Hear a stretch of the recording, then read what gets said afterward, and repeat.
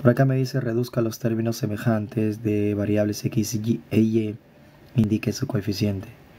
Recuerde que para poder decir eh, términos semejantes significa que tiene que ver parte literal igual. La parte literal se llama a lo que son las variables con sus exponentes, ¿no? Sus respectivos exponentes.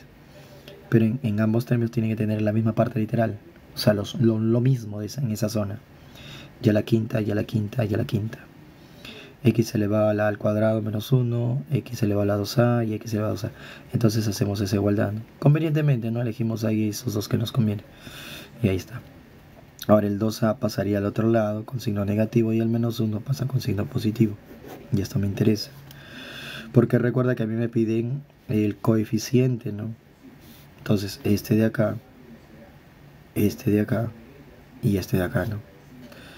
Bueno, en este caso es 1 el que acompaña, pues, ¿no? Entonces sería acá b al cuadrado menos 2a más 3 más a al cuadrado menos, menos b al cuadrado más 1.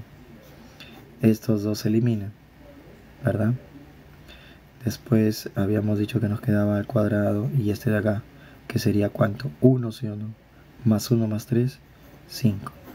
Y sería entonces la respuesta